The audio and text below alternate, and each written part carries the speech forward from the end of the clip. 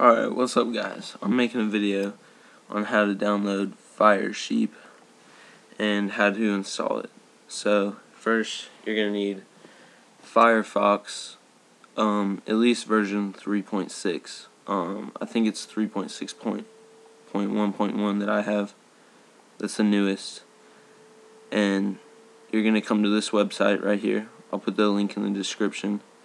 And you're going to hit this to download you save file and that'll save to your desktop.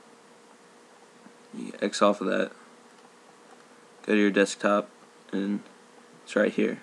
You right click on it open with choose default program. You're gonna go down here to browse and then you go to your desktop or wherever you have a Firefox save. Mine's right here on the desktop. So you find it in here. And then hit OK. And it opens up and it asks you to install it. So you hit install. And then uh, you have to restart Firefox. So you restart it.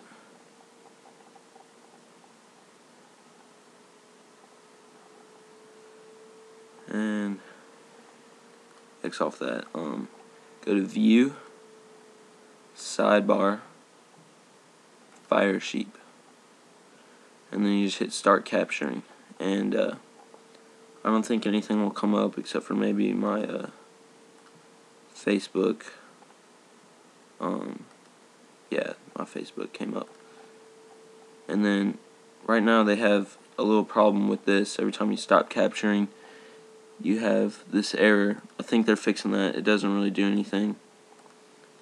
And that's about it. You might also need um, WinCap.